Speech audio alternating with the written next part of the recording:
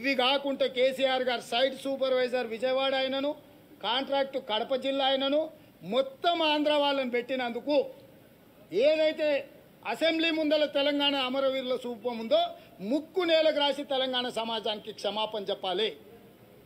ఇన్ని తప్పులు జరగడానికి అమరవీరుల స్థూపం మొండి గోడలు నిలబడడానికి తెలంగాణ సమాజం కేసీఆర్ని కేటీఆర్ కుటుంబాన్ని సాంఘిక బహిష్కరణ చేయాలి. సోషల్ బైకౌట్ చేయాలి.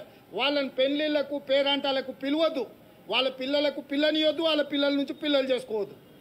వెలివేయాలి. ఈ తెలంగాణ సమాజం నుంచి కేసీఆర్ కుటుంబాన్ని వెలియాల్సిన అవసరం ఉన్నది. అమరవీరుల స్తూపం కూడా కేసీఆర్ అవినీతికి బలైంది. అమరవీరుల స్తూపంలో కూడా కోట్ల రూపాయలు కొల్లగొట్టిండు.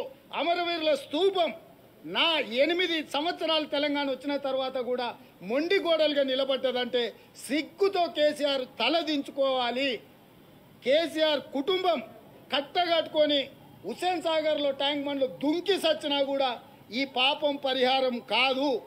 ఇట్లాంటి దుర్మార్గులను శిక్షించాల్సిందిగా తెలంగాణ సమాజానికి విజ్ఞప్తి చేస్తున్నా.